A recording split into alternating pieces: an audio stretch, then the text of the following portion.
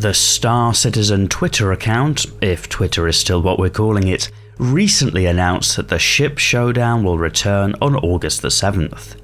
Some of you may be aware that the Ship Showdown encourages people across the community to engage, discuss, debate, and champion their favourite Star Citizen ships to vote for a single ultimate winner for the year.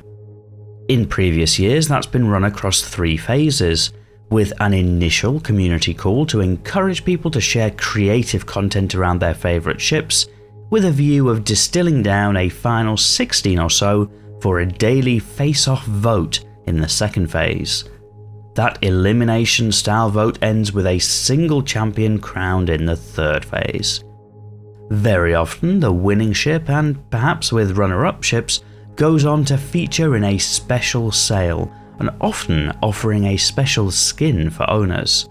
And that's what makes some people care about this competition, trying to find an optimal winner, and others critical that many of the finalists are the same year in, year out. But many just don't really care for the showdown and largely ignore it.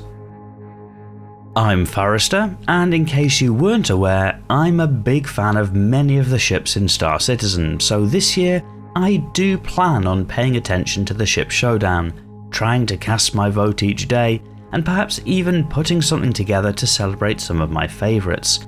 Which prompts me to ask the question to you, dear viewer. Is there an unsung hero amongst the Star Citizen flight ready ship registry that you think deserves more attention, more credit? If so, please share in the video comments, and who knows, if there's a popular choice, it might prompt something to aid the effort.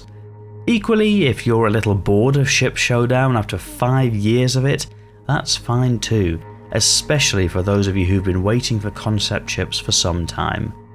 Anyhow, this video has been a little different, a little off the cuff, and a little out with your usually scheduled programming, so it probably just remains to say that if you made it to the end then as ever, thank you for watching.